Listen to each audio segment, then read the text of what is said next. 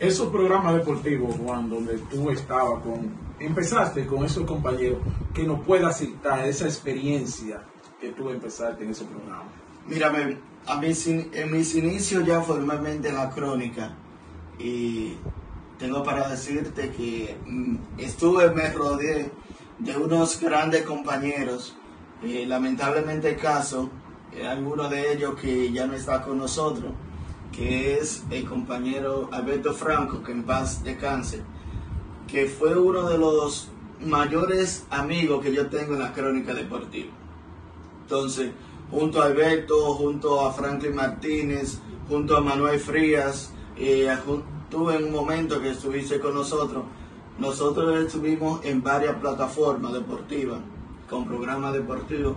Recuerdo que nosotros estábamos en la unión de Sosúa, estábamos en un programa deportivo ya. Luego eh, estuvimos en Musavisión, Canal 10, también con un programa deportivo que ahí fue que duramos más. Duramos alrededor de siete años eh, con el programa deportivo. Y eh, ahí fue que Alberto Franco falleció luego de una crisis de la diabetes. Falleció y ahí fue que decidimos quitar el programa en televisión. Pero seguimos trabajando en la plataforma de YouTube.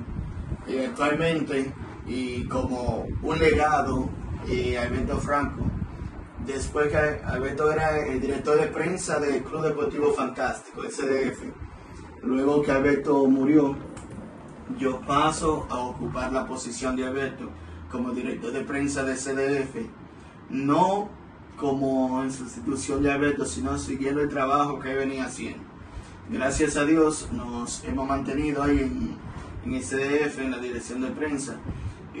También estamos trabajando plataforma CDF TV, que es el canal oficial del Club Deportivo Fantástico en YouTube donde estamos transmitiendo los juegos, subimos, recientemente subimos la entrevista que le hicimos a Bernardo Polanco y Mellito, pero también estamos, pronto vamos a lanzar la plataforma Juan Siberio HD, que es una plataforma con diferente contenido.